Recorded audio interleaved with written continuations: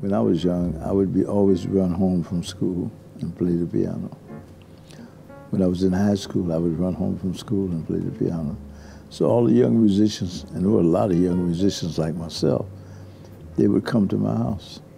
They knew that I would be sitting at the piano, so they'd come to my house and we'd practice jazz.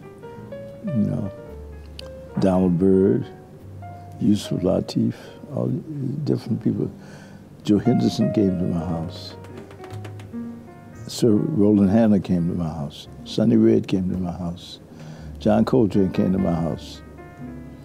See, all these people, uh, Sonny Clark, all of them came to my house.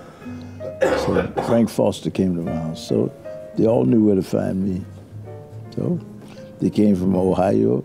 They came from different places.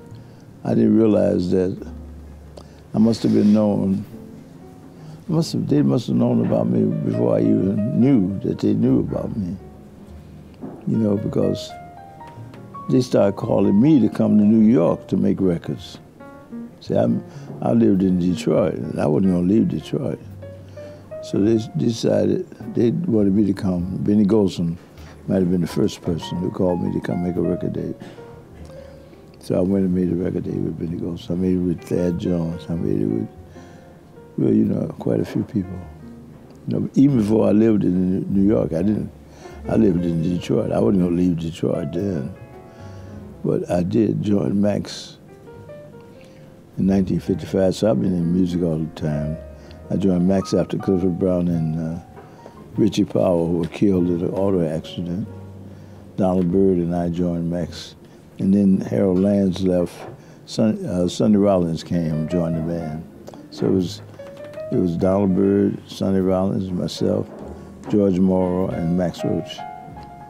That was the group. There, there are no recordings of this group. You know, somebody probably got it hidden somewhere, waiting for us all to die. you know, when we did, you know, something like that. But no, there are no recordings of us when we played. You know, and that was a good group too. Sonny Rollins and Donald Byrd. Ooh we had a really good group, you know. So I've been in music all my life, so I have nothing else. That's it.